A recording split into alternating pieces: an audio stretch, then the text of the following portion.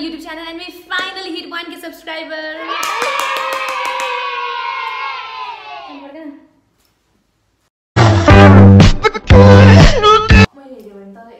So last Friday I kept this story on my Instagram. I'm here with the Q&A session, just matching I choose questions and then I'll be answering them. Let's get started. So the first question is, when did you first mimic Sindhu? You remember? I am in love with that video. Love India. Thank you so much. Um, when I was in 11th or 12th and I used to stay in hostel, there I used to mimic in Sinjo's voice just to make them laugh. Afterwards, I uploaded the same theme song in uh, YouTube and then I didn't have any audience much and uh, it barely got like 200 or 300 views.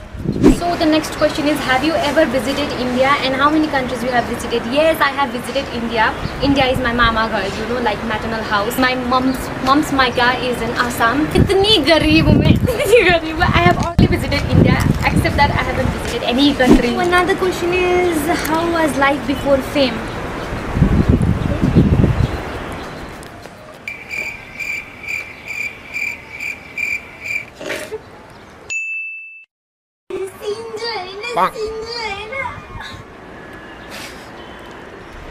Please one shout out my name, Ray. Okay. Suman! Uh, your siblings, like my mummy का बच्चा या फिर what do? Okay, I'm gonna tell my mummy को आफूले जन्माको बच्चा. I have only one brother and uh, we have this picture like candy cameraबाट खिचेको. We didn't have picture much because whenever we meet, we fight a lot and then end up crying. so guys, there are some common questions that people wanna know, like my name, age, and where I uh, belong from. So I'm gonna tell in this part. My name is Brinju Bhattarai, B-R-I-N-J-U, B-H-A-T-T-A-R-A-I, Brinju Bhattarai, and I'm 21 years old, and I'm BSc Nursing third year student, and I stay here in Kathmandu, and my permanent address is Sunsari Chakraghatti. I think everyone is clear now.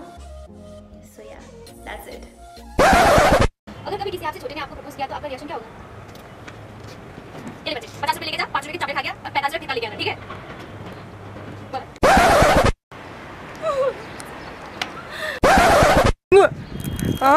गल्ती खेलेर बस्न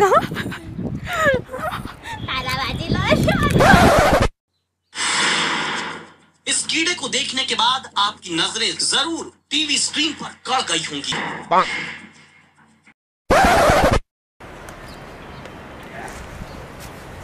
start.